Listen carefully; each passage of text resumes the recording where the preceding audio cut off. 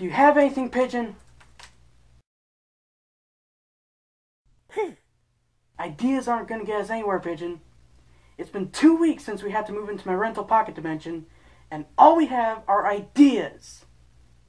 Hmm. I guess you're right. He's got more combat experience than me. Plus, he actually knows how to use his powers. With the limited supplies we have in here, it wouldn't make much of a difference.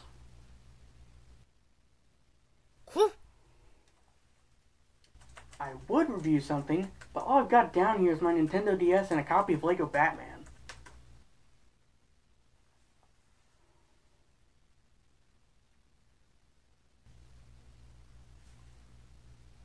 Oh, yeah.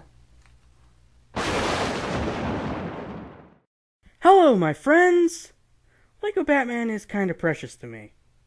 Seriously, the only two non-Bionicle MOCs I actively display are Batman ones. And I honestly like the LEGO theme more than Batman himself. I don't know, something about the designs in the original 2006 and 2008 theme just really captures my interest. Maybe it's because Batman's stuff just translates so well into brick form. Maybe it's because the minifigures just look so stylish. Either way, I love this theme, and the video game definitely contributed to it. And I think that love spread throughout the brick filming community back in the day. Seriously, even with how vulgar those could get, there was still a strong hint of what the game established. Heck, I think the mockery of Robin in this game influenced that trope in brick films. And yes, I know Force Fire 101 popularized the trend, but I think this game influenced him in that direction. Anyway, you may think that I'm talking about the standard console release, but to be honest, I feel the style of the DS version more. Because the DS does a lot more right over the console version. Let's dig into it and I'll explain. Right from the first time you load a file, the biggest difference is apparent. The Batcave is much more contained. This might just be me, but I feel that the LEGO levels in the console versions tend to sprawl a bit too much, and that was especially apparent in the Batcave. Like, do I really need to use an elevator to get to the vehicles from the computer, and then search on a computer screen to access the level of my choice?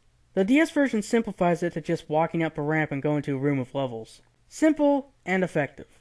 This also seems to have a lot more lighting than the other Batcave, while still maintaining a nicely dark atmosphere, which is true of most levels in this thing.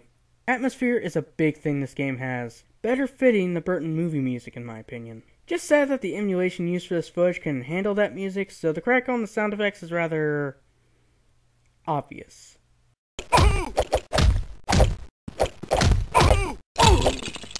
Anyway, gameplay. Well, for the most part, you walk around as Batman Robin, in the hero mode, and work towards defeating the villains through the use of various suits, levers, buttons, and destructible objects. Some of that is pretty obvious LEGO gameplay, since who has really not played one of these?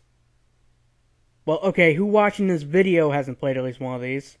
A neat thing I have to note about controls is the minimal touchscreen usage and utter lack of L and R button use.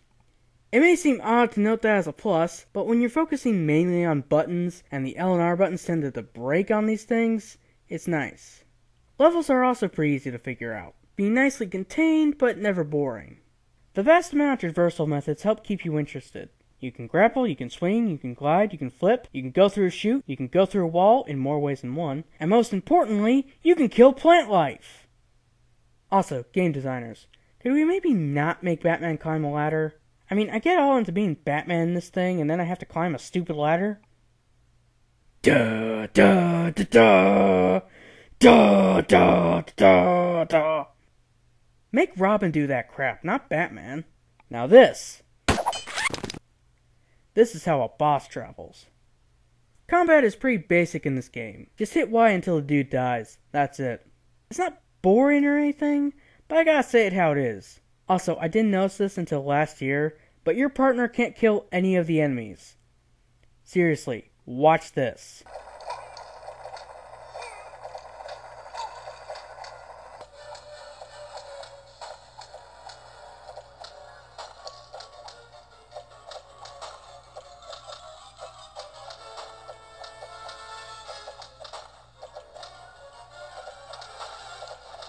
The AI also occasionally gets stuck on nothing in particular every now and again, thus making it so you have to come back and get them all the time. It also happens in the console versions though, so I'll let pass. A neat thing that Batman and Robin have in this game is alternate costumes with various abilities. For Batman, we have the glide suit, which is basically what it says on the tin, bomb suit, ditto, and one more suit that we'll note in a minute. Robin has a magnet suit, and it's honestly better in design than its console counterpart, simply due to the feet. Now, hear me out on this. Look at these giant plates on his feet. Now, convert it to human scale, taking into account that you can't accidentally step on one of them with your other foot, lest you trip. Wanna know how you'd be walking? Here's a rough idea for you.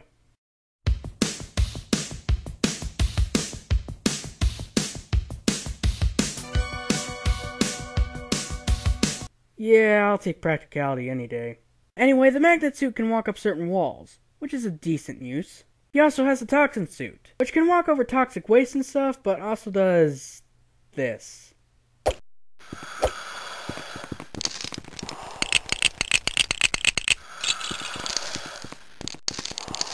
Is that you breathing? Because I, I can't hear myself think. To be fair, Batman also has a suit that does that for extreme cold, so they're equal in that regard. A neat aspect about these suits is that a lot of them can be built with your own bricks if you have the right parts. Just a shame that you can't use these parts in the character creator, and that you're oftentimes just in the bomb and magnet suits. Okay, I think we have gameplay down for the most part. Overall, the main advantage to it has been more compact level design and better lighting. But I feel that the whole atmosphere aspect really shines in the cutscenes. Okay, for anybody who needs a quick history lesson, back in the day, LEGO games didn't have much voice acting. Just grunting and whatnot. Most of the time, this was fine, since a lot of LEGO games were based off of movies that you could reference to know what's going on. LEGO Batman was the first time they ever tried for an original story. And boy does it show.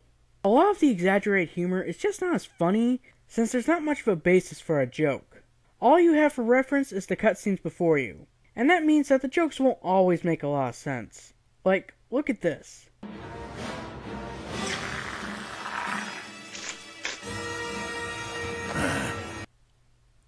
Robin, the heck was that? There are also some jokes that go more over the top than they should, or are just limited by the graphics. The cutscenes in the DS version are much better though, since they're more like comic panels than the fully animated stuff. This means that they aren't limited by what the graphics can handle, so stuff like Mr. Freeze's tank bursting is a lot clearer. They also toned down some of the more over the top jokes, like simplifying Poison Ivy's love potion to a simple knockout. Instead of doing whatever the heck this is at the frozen police officers, Robin just laughs at them, which is a lot less confusing.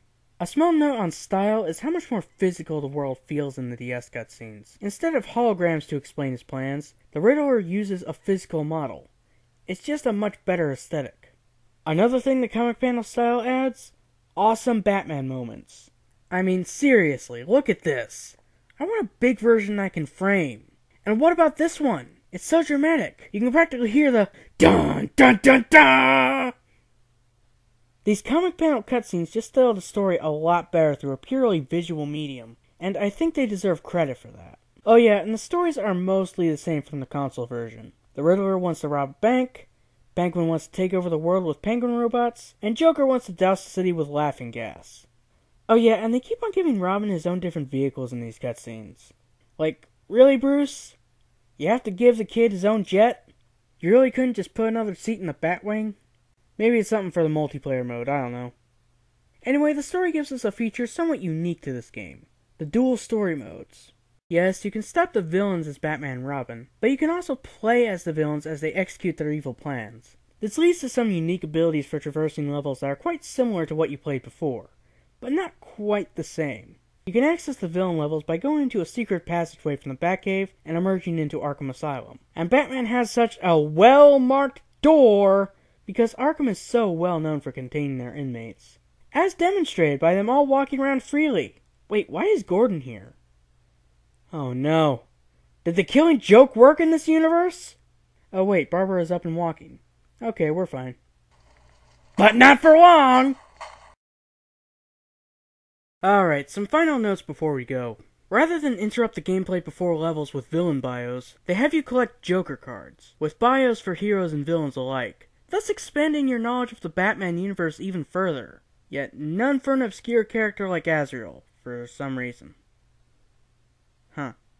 There are also Riddler clues for mini-kits, which allow you to make LEGO models as per usual, and red bricks for cheats. The character creator allows you to make minifigures out of the characters you've bought, with my usual custom being Superman because I was that kid. Oh, heck, I'm still that kid. Oh, yeah, and don't use Clayface's headpiece with Batman's moves, people. Speaking of characters, we have a few that are exclusive to this version. Though why exactly, I'm not sure. Finally, we note the item shop. This is where you spend all those well-earned studs you got over the levels. You can buy characters that you unlocked, buy hints that are more just common sense than anything, and buy cheats to help you in the game. Or the keys to open up all the areas in the game, that's useful. It only becomes a problem when you run out of stuff to buy in the shop, but still have this overwhelming urge to collect studs. Guys, help, I'm too rich! Overall, while Lego Batman on console is a good game on its own, the lack of limitations and experimental ideas just left enough room for the DS version to refine it. Though even that was ultimately refined in the console version of 2. Oh crap guys, I gotta go. Um, The Killing Joke is overrated, LEGO minifigure printing peaked in 2012, and the 3DS ports of LEGO games aren't as good as the DS ones. Especially LEGO Batman 3. What do we got? Bento Fire, Bento Fire, this is your alternate universe counterpart. Are you reading me? Alternate Fire? Ben, I finally reached you. Another version of us is coming for you. You must prepare. Yeah, a bit late on that one, dude. He's already defeated me. Oh. This is bad. Oh, you think? Don't worry, Ben. I'm coming over there. Just give me a second to pinpoint your location and. there.